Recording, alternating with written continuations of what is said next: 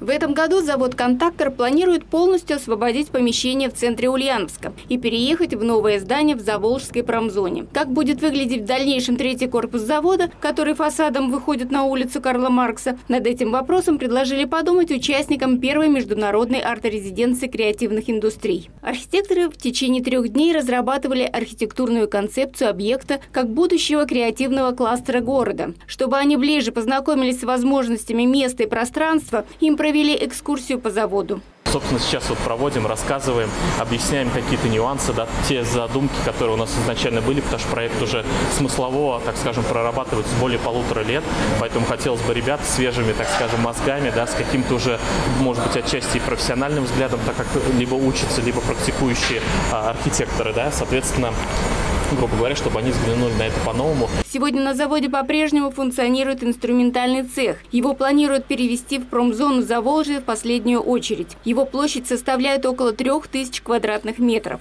По словам кураторов направления, на это помещение большой спрос у резидентов. Как сказал Кирилл Валов, этажи с 3 по 5 станут пространством, объединяющим искусство и технологии. Его хотят освоить десятки резидентов, представители IT-отрасли, архитектуры, музыкальной и модной индустрии, легкой промышленности, медиа и инвент отраслей, ремесленники, фото и видеолаборатории. По задумке и предварительной договоренности айтишники займут весь пятый этаж и будут использовать крышу с хорошим видом на историческую часть города. Основным экспертом направления архитектура и урбанистика арт-резиденции стал Михаил Приемышев. Он приехал в Ульяновск из Череповца, где руководит отделом благоустройства городской среды. В прошлом художник-урбанист. По его мнению, прежде всего созданию надо снять панцирь восприятия контактора как завода.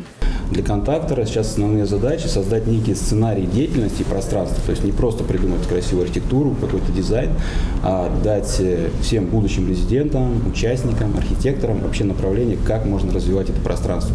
Не просто э, дизайном, красивыми какими-то декорациями, а именно деятельностью.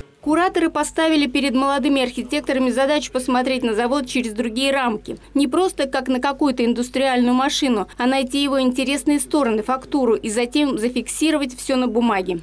Приехало много людей вот, из разных городов. Э, им всем интересна тема креативных пространств, кластеров, потому что, мне кажется, Ульяновск – это, ну, на мой взгляд, это ведущий э, вообще город, э, ну и вообще область в этой теме, потому что я занимался тоже креативными пространствами. Мы запускали креативное пространство «Горизонт» в Димитровграде, третье место сеть креативных пространств, третье место в малых городах и селах Ульяновской области. И вот сейчас мы занимаемся контактором. Среди гостей арт-резиденции была директор школы креативных индустрий Северо-Кавказского федерального университета Алена Садыкова. Как она утверждает, Ульяновск прославился тем, что после Москвы и Питера является первым в России по качеству заявок именно в сфере креативных индустрий.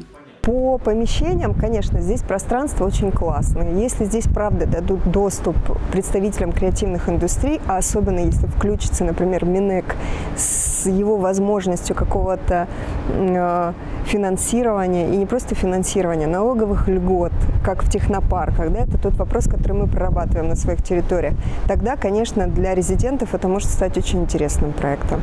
Ранее в одном из интервью глава города Дмитрий Вавилин сказал, что в планах полностью снести все объекты завода, кроме двух зданий. Корпуса, который выходит на улице Карла Маркса, и здания лаборатории, так как уникальное оборудование перевести невозможно. На освободившейся территории построят новый комплекс. Ирина Антонова, Улправда ТВ.